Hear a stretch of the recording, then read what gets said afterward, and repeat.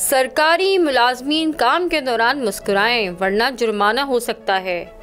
Philippine के एक mayor ने सरकारी मुलाजमीन के लिए एक अनोखा हुक्म जारी किया है, जिसमें कहा गया कि तमाम मुलाजमीन नौकरी के दौरान अपनी जिम्मेदारियाँ अंजाम देते हुए मुस्कुराएँ, वरना जुर्माना भी हो सकता है।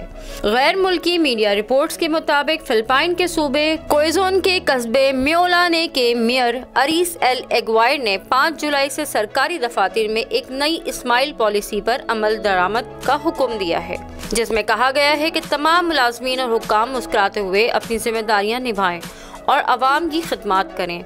इतलात के मुताबिक मुलाजमीन को वाज तौर पर बता दिया गया है कि इस हुक्म को ना मानने वालों की छः माह की तनख्वाह काटी जा सकती है, जबकि मुलाजमीन को नौकरी से भी मअतल किया जा सकता है।